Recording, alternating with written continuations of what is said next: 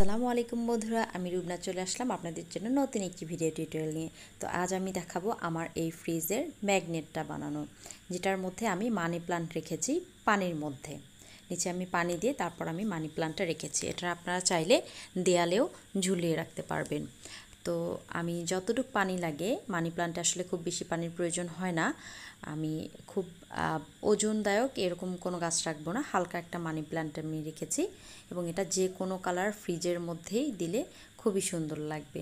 সাদার মধ্যেও ফুটেছে এবং আমার যে ব্ল্যাক কালারের ফ্রিজটা আছে সেটার মধ্যেও খুব সুন্দর লাগছে।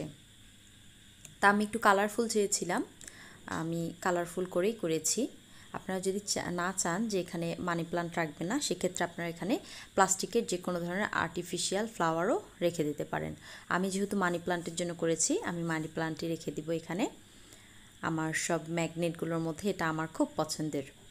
তো চলুন আমরা দেখে নেই কীভাবে আমরা বানিয়েছি। আমরা প্রথমেই নিয়েছি একটা কোডোমোর লোশন কাম পাউডারের একটা ফাঁকা পট সেটা আমি পরিষ্কার করে নিয়েছি এবং স্টিকারগুলো তুলে নিয়েছি।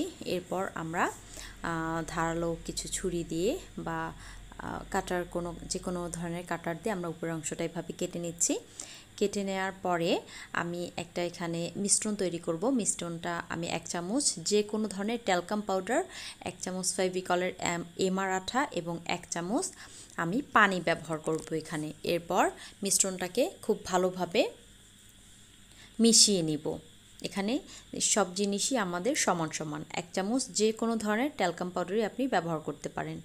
এরপরে আমি যে ফাঁকা পটটা নিয়েছিলাম, সেই পটের উপরে সুন্দর করে এই মিশ্রণটা লাগিয়ে দিব। আমি ডাইরেক্ট আমি, আমরা যে কালারটা ব্যবহার করব, সেটাও ব্যবহার করতে পারতাম। কিন্তু মেহেদি যেমন শুকিয়ে যাওয়ার পরে শুকিয়ে পড়ে যায় সেই রকম পড়ে যাবে। এই জন্য আমি এই পাউডার আর গ্লুর পেস্টটা ইউজ করেছি। এটার উপর আমি আরেকবার সাদা কালারের যে কালারটা আছে, সেটা আমি ইউজ করেছি। এটা না করলেও চলবে। চাইলে আপনারা এটা স্কিপ করতে পারেন। এরপর আপনার পছন্দ মতো এখানে আপনি কালার করে নেবেন। তো প্রথমে মোটা তুলি নিয়েছিলাম। তারপরে সেটা দিয়ে ভালো হচ্ছিল, এরপর আমি চিকন তুলে নিয়ে নিলাম।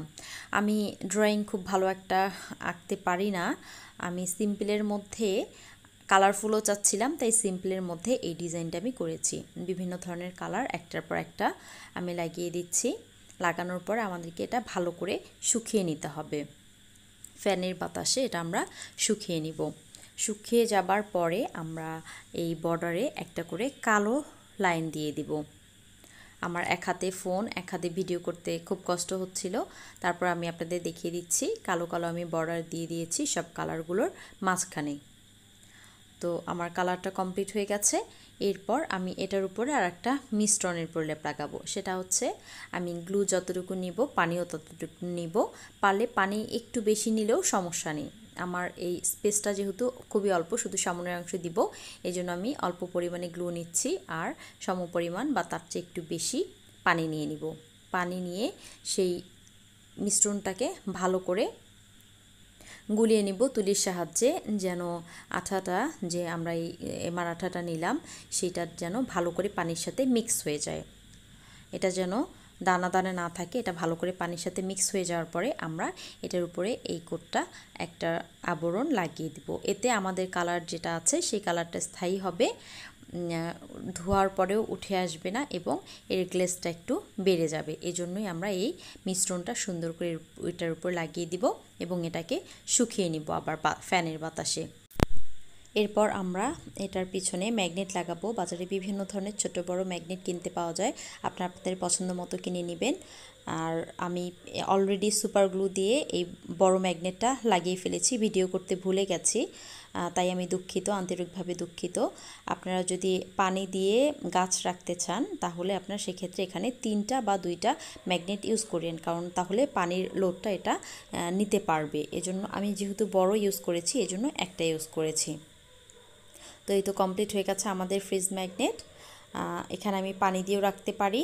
চাইলে আপনারা আর্টিফিশিয়াল ফুলও দিয়ে রাখতে পারেন। আমি এরকম আরও একটা বানিয়েছি, এটা আমি ওয়াল হ্যাং হিসাবে রেখে দিয়েছি।